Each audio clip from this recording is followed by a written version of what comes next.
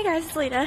Um, I just wanted to make a new update video to, hold on. Um, first of all, show you guys my hair in case you haven't seen my, in my last video, um, the pumpkin patch one. Um, I dyed my hair black and took out my piercings. I'm kind of just starting over with that stuff. And my eyes are watering really bad because it's really cold out here. Uh, let's see. Oh, right. But I just wanted to show you guys something really exciting. Um, if you were subscribed to me last spring to my old account, um, okay, sorry, got blurry.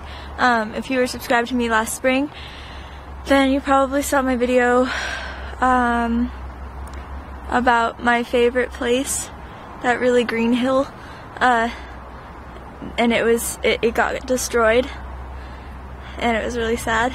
Um, but it's been raining a lot, and so look it, it's growing back. See, it's like it's not nearly as good as it used to be. Like it, it's like that. Ew, my nose is watering, but um, it's better than it was because it was just like dirt and poo and stuff. Um, but it's getting better now. It's really cold. I can't watch. Oh, fail. I'm an Eskimo. Yeah, so just letting you guys know that that it's growing back. So yeah. And let's see. Oh, what else? Thing, one other thing I wanted to say was um that the Woollyton jewelry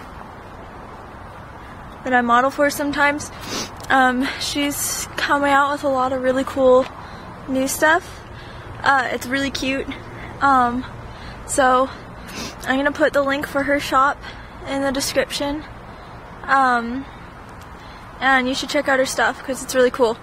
Uh, the lighting here sucks. Okay, yeah, so you should check out her stuff because it's really cute. And I'll put the link in the description for her shop.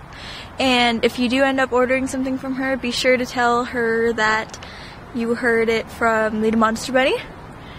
Uh, because yeah.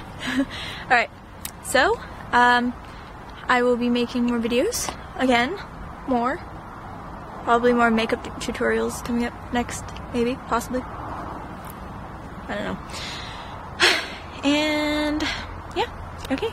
So I will see you guys later. And say bye bye to my favorite place.